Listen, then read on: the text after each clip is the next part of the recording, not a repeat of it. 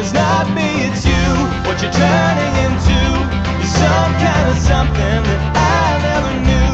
You used to be okay, and I you that way. But I don't think that I like you better. No, I don't think that I like you better.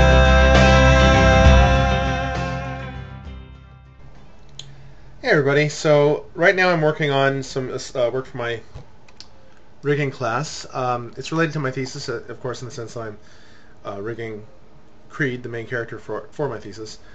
Um, and although I'm not majoring in rigging, this is this is good stuff for me to know as a modeler, and this demonstration will kind of kind of show you why. I'm actually going to be doing a bit of my homework here, so you can actually see me doing this work. I shouldn't say for the first time. I mean, specifically what I'm going to do is going to be for the first time, but I found a bunch of corrections I needed to do as I started doing this, um, and so now I'm finally getting to the heart of, um, of what I wanted to accomplish. You'll, you'll see what I mean. Um, so I'm working right now with something called corrective blend shapes. Now in uh, in Maya, when you rig, often you'll have problems where things don't deform exactly as you want, even though you have, um, even though the bones and stuff are working as they should with the skin. And then so you need to do some some extras. For instance, one thing here, these uh, these spheres. Didn't select it, but there we go. Like that sphere there, uh, and that one there. Those are influencing the arms as biceps. So if I go in make that part invisible and I select this here I have it set to where when I bend the arm here the the muscle contracts and the skin kind of the skin pulls out um, somewhat realistically. So that's one way to do it. Um, another way are these little balls here. That's uh, what is that called? Create deformer? That's a, called a sculpt deformer and uh, those are actually very easy to, to set up. You can set them on joints that, that need to maintain their volume when uh, joint when a, a, limb bends, and so that's there, and it's it keeps uh, volume on the elbow. I also have a couple, one on each knee, and obviously one on that elbow too. What I'm going to do now, though, is I'm going to go ahead and create another um, corrective blend shape, and I will probably pause this at, at points so that it doesn't get too tedious. But the first thing I need to do is, so I've selected this uh, shoulder joint to bend. Now normally I would actually select part of the rig uh, or, or, a controller, but I don't have the controllers for this set up yet. Uh, they will be set up eventually. Uh, and I'm going to go ahead and rotate it on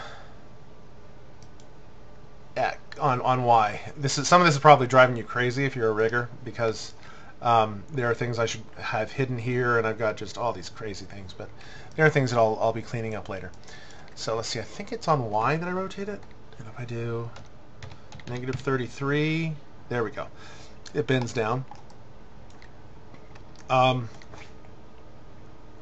so what I'm going to do here is I'm going to open up this handy script called Hyperreal Corrective Shape, which is by a man named Eric Miller, who is also Academy of, an Academy of Art University graduate. This is a really, really great uh, script. It makes this process very easy. So what I will do is I've selected my character and I, have bent the arm down and I'm going to say clean duplicate. And that makes it says now Bodacious Creed 1 up here, so that makes a duplicate of that character. So I'm going to say left uh, shoulder down underscore BS for blend shape. And I'm going to export this and bring it into ZBrush. I'll be right back. Okay, so here I am in ZBrush, and we have the left shoulder down. You can see the right arm is in the, the pose I wanted it in. That's, um, you know, there are different ways to create a character. I like having the arm down this way rather than in T-pose or definitely not straight down. So it's just uh, kind of a matter of preference, but kind of a matter of how you want the topology to go as well. But that's that's for another day. Um, so here, See, I've got the arm. Now I already have ZBrush, uh, some settings done to, to fix this um, with my tools, and I may not need a pause here. I can just probably do this pretty quick, and ZBrush is fun to watch anyway. So I'm fixing, the, so I'm gonna fix this.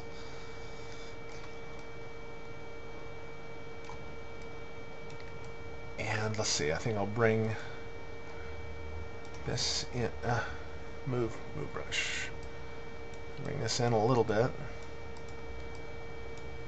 Um,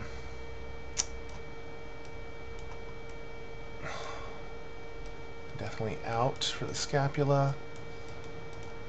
And, ah, so fun when they turn around like this. And this like this The pectoral actually, muscle actually goes, uh, let's see. Yeah, folds in that way, so that was better. Alright, and so, whoops. So I've got some improvement there. I'm going to smooth this out just slightly. Go back to standard brush, bring it up a little bit.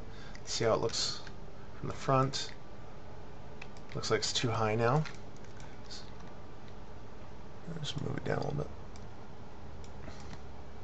Okay. I don't need to, you know, I want to do well in this class, but I don't need to get super detailed. And I'm having so much trial and error with my work that, um, you know, at this point I feel like I just want to get some things done. Uh, I might want to bring out the deltoid slightly, though.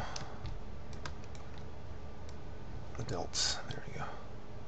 That looks good. I think. Anyway. Uh, so then I'm going to pop this back over to Maya. I, mean, I have it set up right now. It'll it'll replace the oh it should have replaced the previous one, but it didn't. Uh, that's okay. I'm actually kind of surprised it didn't. So, but that's okay. So what I'm going to do is move this over here. Here's the corrected one, as you can see, and here's the actual model. Now, Okay, so now I just have the blend shape selected, the old one. I'm going to delete it. Select this, and then I select the action. Select the blend shape, select the actual model, and say apply shape. I said this is a very nice script. It makes it so much easier than it would be otherwise. Um, and that looks great. Uh, the only problem is uh, let's see, I think I put this at negative 33. Yep, so it's at negative 33. If I put it back to 0, which I, I want to remember that, negative 33. Uh, as you can see now, it looks all stretched out and funny there. That's not how it's supposed to look. So I go back to this one, this hyperblend node um, on the shoulder down is uh, what does the morph on this model, so it's kind of the influence it's pushing out. And so you can see if I, now, now it looks fine. So at this point, when the arm is just at zero, we want it to have no influence from this. When it's at 30, negative 33, we want it to have uh, one influence, and for it to be a smooth transition in between. Fortunately, Maya has to go ahead and close the script because that's all that, that's how I've been using it. Maya has this fantastic thing where you choose, so I'm choosing the joint, going up to set driven key. This is what is going to be driven. No, wait. This is going to be the driver. Okay, load driver. So when this bends, it affects how much the, the morph uh, goes. So, and I load the driver. Right now we have them both set to zero, so I'm just going to say, oh, and this is needs this needs to be rotate Y. If this is boring to you, uh, just zone out while I do this, and then you'll you'll see the result, and it'll look cool. So I will key that. Basically, that means that the rotate up and down on this is linked to this. And when this is at 0, this is at 0. Now, I want to go back to this one. And when it's at rotate y is at minus 33, I need to have the hyperblend at 1. Since I already have the association set up in here, I just have to say key. Set-driven key is really cool. I uh, it was a little bit confusing to me when I first started using it, but after I've used it a bunch, um, and I've had to do you know rigging for this for, so for this class and for actually two other classes I've had to do rigging for, including the head class that you saw last semester and my very first Maya class. Um, it's yeah I, I don't know. In my opinion, this has got to be like the rigger's best friend. So let's go to back to this. You can see the full model. And now when I rotate the arm, oh, don't rotate that that far. then we have the problem again. Rotate the arm. Okay, from 0 to 33.